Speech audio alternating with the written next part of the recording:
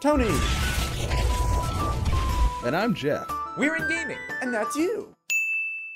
Hello gamers and welcome back to the inn. I'm Rob, of course, at Warshack if you want to call me by my in-game name. And today we will be going from rank 5 to 4 with the Fatigue Warrior. Uh, this is a deck that I find pretty fun at the moment, and we're doing really well with it, so we might as well just keep the streak going. Uh, just keep in mind these games will probably be a little bit longer as Fatigue games normally do take a bit of time to play, uh, but you guys might learn something along the way that you might have not have learned before because the games take longer, which means there's more or analyzing of the plays and all that good stuff. So, um, yeah, so we're playing against probably a secret paladin, which is not so good. Keep the war axe, probably even the slam for the shielded mini bot, so we can take the divine shield off and draw one. Seems pretty decent. Also, if he's playing cancer, we can slam cards down and, keep, and uh, not draw. Because if he is playing cancer, having the least amount of cards in our hand is really, really good. Everybody's rank 5. Look at this, like a rank 5 party. Rank 4, Starfighter. Everybody's doing pretty good. Pretty good. So it looks like he's playing Super Paladin. I think we can go off the bat with not having to really do anything here. And this matchup, drawing into executes, uh, shield slams, brawls, really, really important. Uh, so we can actually deal with what he brings out. Um, we're going to assume that this is a noble sacrifice. We'll play the war axe, swing into it, but it is the noble sacrifice. Uh, because why wouldn't it be? And uh, yeah, we're going to take quite a bit of damage. So we're going to take one from him, two from that, three more next turn. So we took six damage from one knife juggler and a one secret. Now he's gonna play like a shielded mini bot and an avenge, which is probably the best curve out. Ooh, another knife juggler. That's pretty good. It's just a knife juggler. Okay, we can deal with this. We can actually swing it into there. We can bash this one. And next turn, we can coin out the Belcher, which is pretty good. Or we can slam and passive, or slam and do something else, depending on what he draws here. But keeping our hand to the minimum will be the best, so his Divine Favor doesn't get as much value as he wants it Reporting for duty. Okay. So we're going to go ahead. Normally I'd just use passive uh, this turn because he has nothing good. But because he's playing Divine Favor, we want to pretty much keep our cards in our hand to maybe two or three, four max. And that's going to be a little bit difficult, but we'll do our best. Okay, so the Loatheb basically prevents us from doing anything next turn. Wow. So we're going to kill off the 1-1, because this is going to die to that anyway. Um, that was a pretty good Loatheb he just cast. It stopped us from slamming, it stopped us from shield slamming, basically stopped us, period. There's the Challenger, which is not so good, but it's not too terrible, because we're going to be able to attack with what this guy brings out, and then go from there. Alright, so we'll attack, we'll see where the, the Avenge lands. Hopefully the Avenge can land on the 6-6, um, so we can actually shield slam it down. If it lands on any other card, hopefully it lands on the 6-6. Yes, okay. And it's going to bring back the 2 So if we, let's see what we can do right now. So I think that's fine. So we can go ahead and shield block, see what we draw. Belcher, pretty good. Go ahead and shield slam that card down. We can go ahead, we know this is a noble sack, unless he has a noble sack in his hand. Um, but we want to kind of conserve our mana, keep our hand low, so we'll slam this. So normally I might have War Axe. Okay, so we could actually could have attacked that with our uh, War Axe, which would have been better, but then we would have taken oh, uh, 5 more damage, uh, which wouldn't have been good. But this turn we can go ahead and Belcher and War Axe, so as long as it doesn't have a boom... Jeez, man. Pretty good draws he's getting. So we basically have to Baron and hopefully his boom bots don't kill Baron. Boombots did well. Boombots did well. So if he kills off our Baron with like a weapon, we can execute down the uh, Dr. Boom. Consecrate, okay.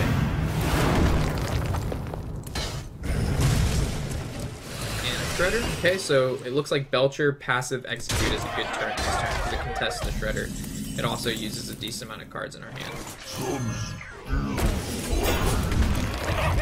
Actually War Axe right now too. I think War Axe is actually pretty good.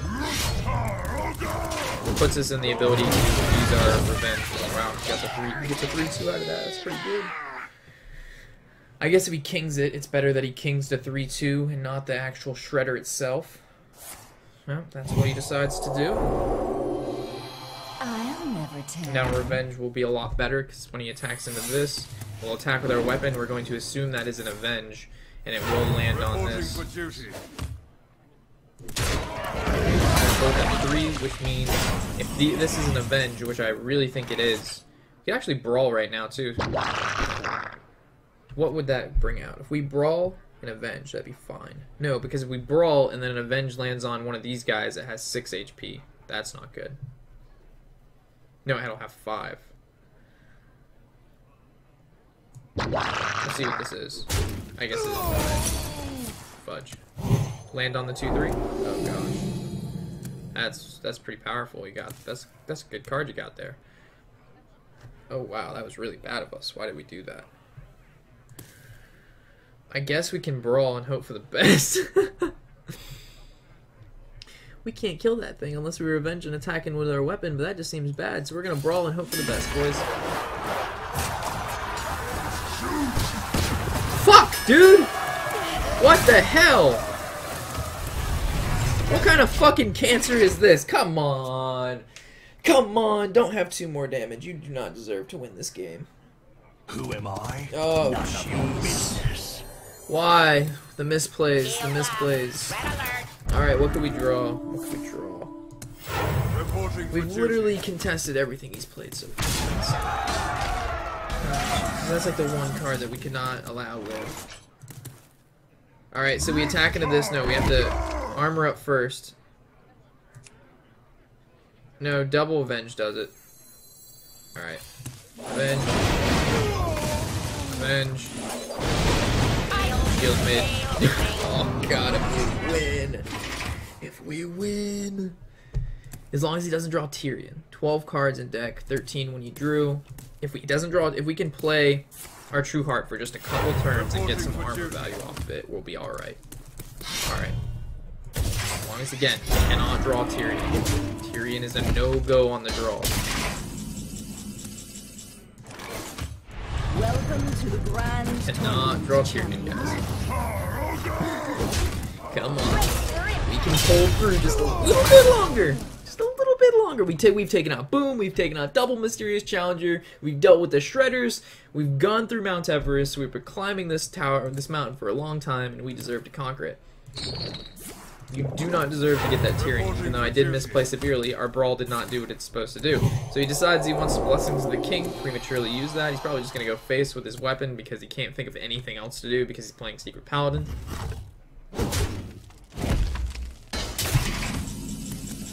Good.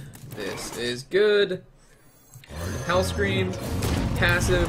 Um, do we value a 6-3 or a 5-4? I think we value the 6-3 more, just because it can pump in more damage. Next turn, we can go ahead and Death Lord passive. The Hellscream allows us to be able to enrage next turn if he decides to. Alright, so I guess the 5-4 would have been better because it kills Reporting Belcher. for duty. It doesn't die, but I guess Ooh, Shield Slam. That's good. Hellscream into that. He now goes Rage mode. and We're able to win next turn. We play that. He can't kill it. We won, guys. Holy shit, I got so upset, but we pulled through the win with the double revenge. The double revenge. That's why we won. That is the only card in the deck that would have supplied us a win there. We were able to draw it. Revenge coming in clutch. He's probably really upset right now. Victory is yours. But you know what? You're playing Secret Paladin. Okay, we just need two more wins. It will be Wrinkle. If he would have drawn, if he would, if he was, if he was been, wow, if he was, if he was able to draw Tirion when I said he couldn't, he would have won because our armor up wouldn't have been enough, and we wouldn't have been able to use. I mean, if we did draw in a Death Lord, which would have taken up two charges. I don't know. It would have been a weird game, guys.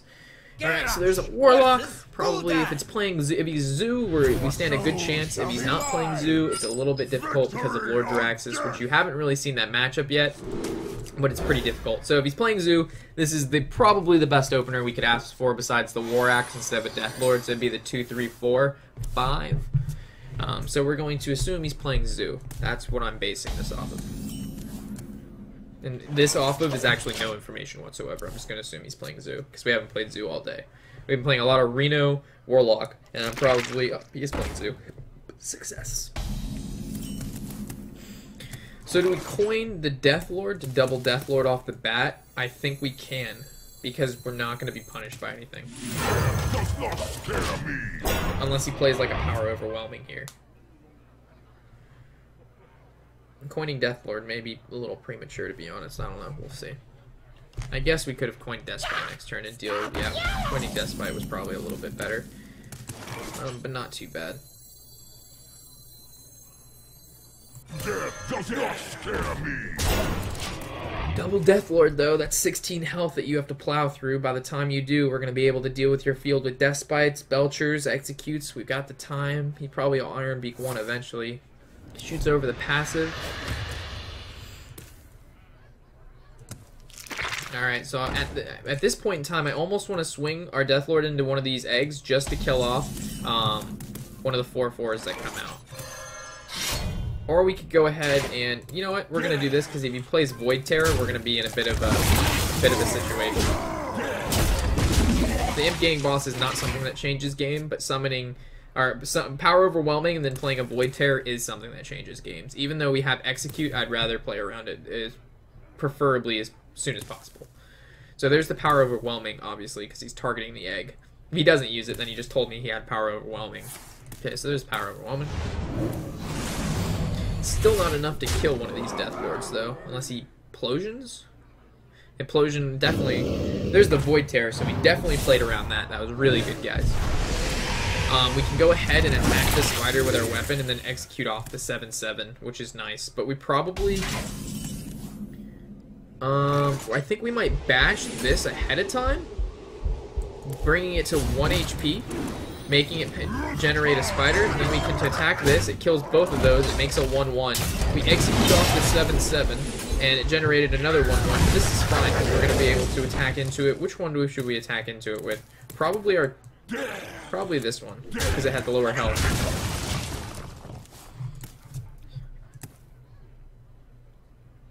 He's probably pretty upset right now, because that was his big wombo of the game.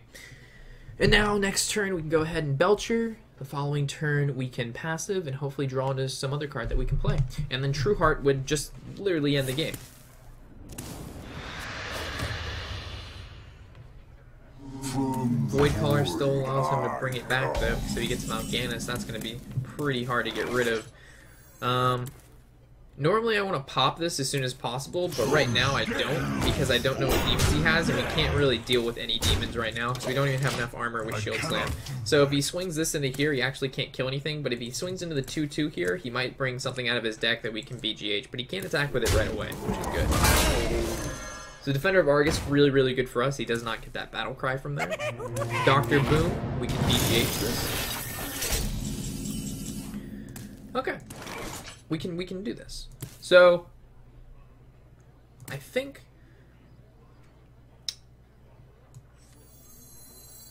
we can go ahead and War Axe.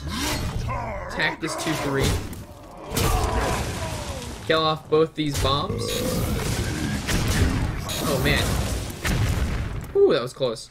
Go ahead, BGH that. Use our passive.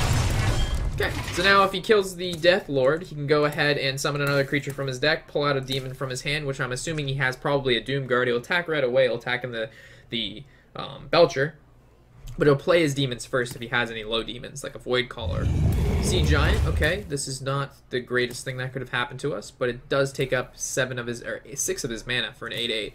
So that's not that bad. But if he summons a Mount Ganis here, then we're pretty not well.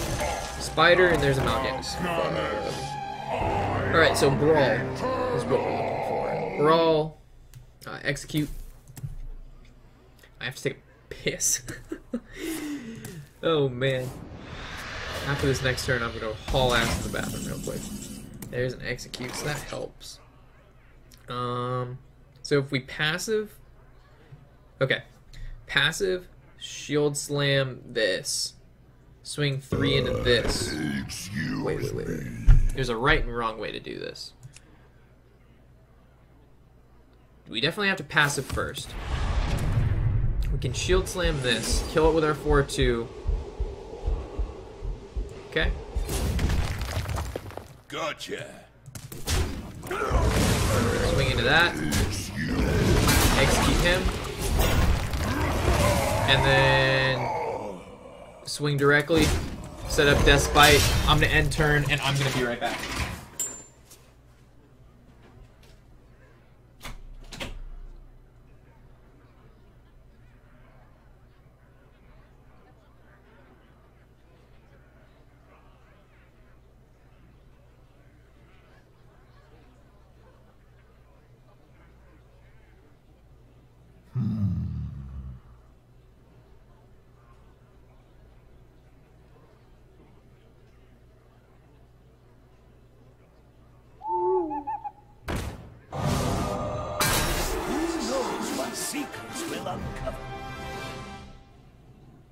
My shield for Argus!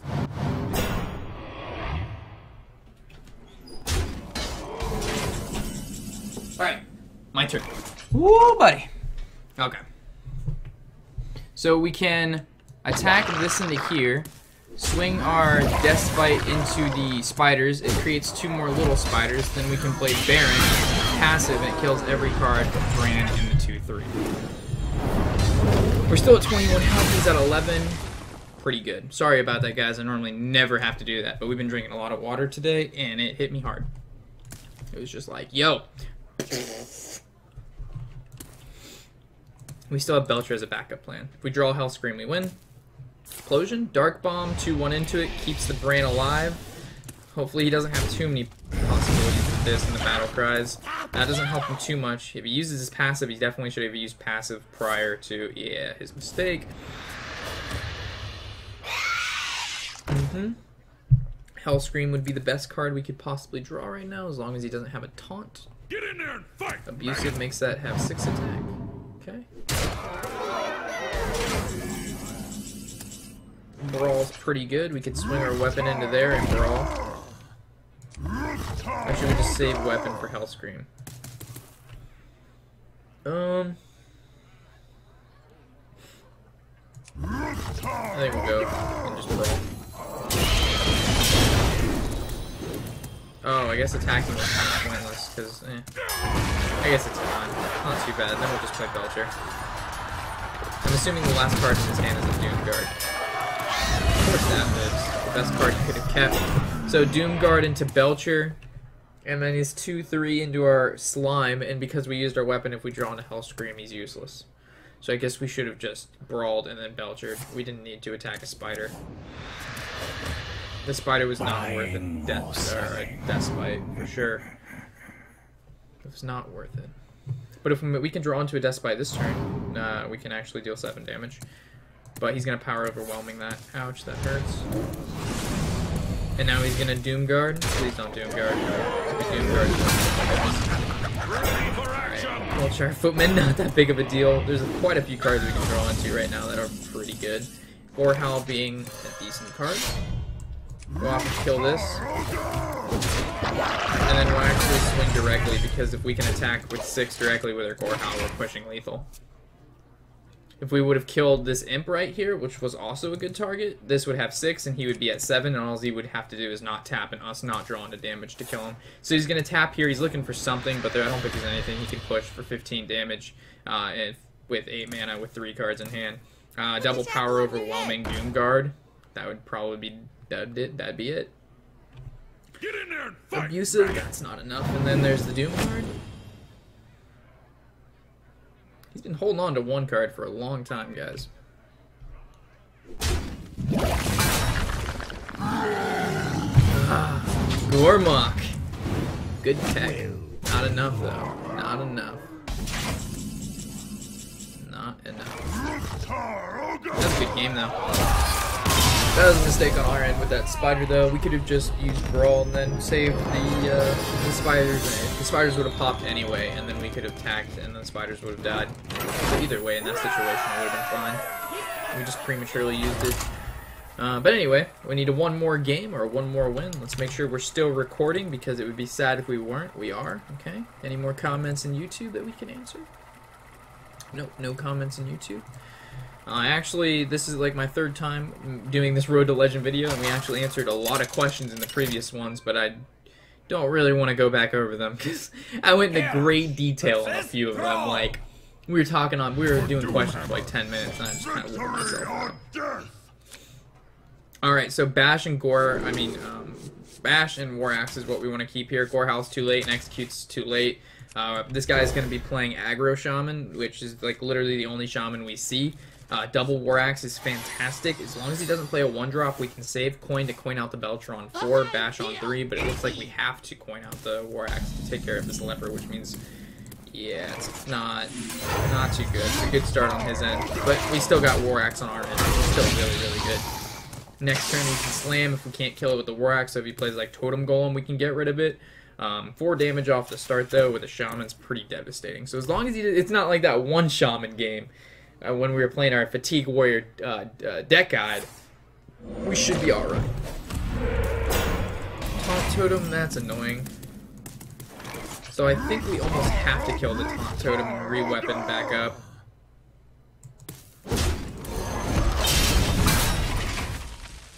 We could have armored up, but then if we, we needed to kill a creature next turn, that we still have to get through the Taunt Totem. So at least now we know he's not going to be able to. He'll play another totem. If it's like a healing or a 1-1, we probably won't deal with it.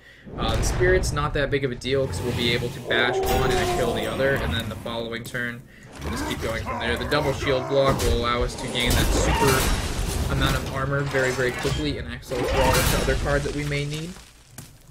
so next turn, if he plays, ideally he plays a creature, we can slam it, uh, passive, kill it with our weapon, and then we can just Belcher. Or we can just draw into like a decent 4 drop. Oh, there's a 3 drop that we'll actually play here. And we'll, uh, we'll end our turn. We know he's not playing anything big, so I think this to tempo out BGH is fine. The Knife Juggler, hopefully not into Spirits. The Lightning Bolt on our 4-2. Okay, perfectly fine. Alright, that's fine. So we can actually slam one of these guys and Death Lord. Seems pretty okay. 26 health, we're still alive. Uh, next turn we can double shield block if necessary, but probably Belcher will be the option. Or if we draw into a 4-drop, we can play that. Oh god, Lava Burst. This can quickly get out of hand. Crackle. Oh god. So he summoned another creature and attack in phase with the Knife Juggler. Horserider's really good because now he has charge. Did he end turn before it came out? He did not. Alright, so we're gonna Belcher.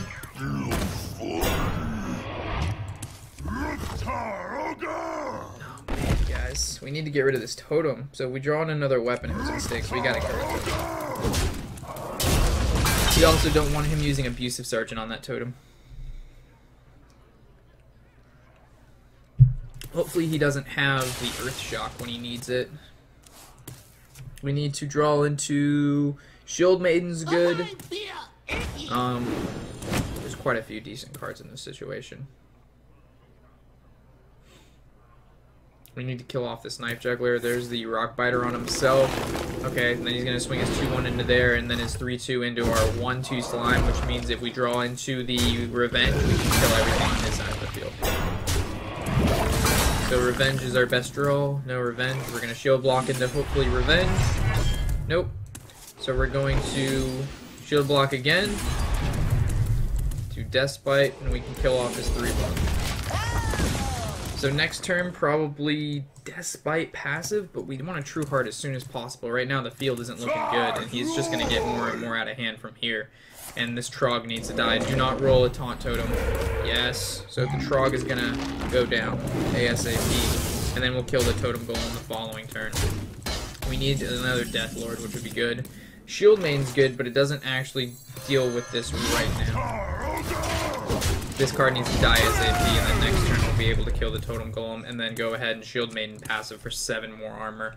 And then on turn 10, we'll be able to true passive Trueheart passive, which is 6 more armor, and as long as he doesn't draw into Doomhammer, and he already used one Rockbiter, and this isn't a Taunt Totem, which is not, which is really good. That saved our ass there.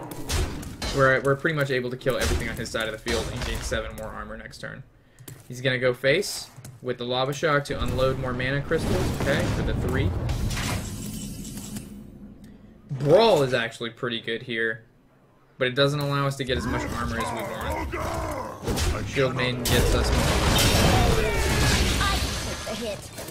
take two, but then we go back up to 17. Next turn we're getting six more armor. As long as he doesn't draw into again like a Doomhammer, I guess Doomhammer would still be okay, but it's again not a card we want him to get. And then um, Ancestral Knowledge to be able to kind of refill his hand with another two cards. Mrrgglton, hopefully not Hunter passive. That card is pretty bad as well. Uh, Warlock passive is pretty bad. Druid passive, it's still good for him, but it's better than him getting Warlock or Hunter. It looks like this game is shaping out to be a win for us, though, for sure. We're gonna kill this. Right now, it's it's kind of heading in our direction, but we can still lose. Surprisingly, I've seen uh, shamans come back from worse. Um, do we kill Mrrgglton or do we just go face for five and start going? Okay, Kasami died. So rank four. Hello, how are you doing? Getting closer and closer to that legend mark. Grinding, we're grinding, waiting for. Alright guys, I will see you in our next episode. Let me know in the comment section below kind of what decks you want to see me play. Um, it's kind of going to get skinny in the decks we play though because I don't want to use decks I'm not really proficient at when I'm at this high of a rank just because it's not time efficient. Um, as like ranks, you know, 18 through like 5 I can play whatever, but when we get to, you know, rank 1 through 5 I kind of want to stick with the decks that I feel comfortable with. So like Reno Lock is an option, um, Fatigue Warrior is an option, uh, Control Warrior is good. Uh, what's another deck that uh, i like a lot? Mid-range Druid's okay, but I don't, you know, it's a pretty boring deck in my opinion to watch. Um, but yeah, just let me know what you guys would like to see. Of course, if you have any comments, questions, or concerns, the comment section below is always there for you guys, like I mentioned before. Sorry, kind of said that twice. Anyway, guys, I'm Warshack as always, and happy whatever the hell day it is.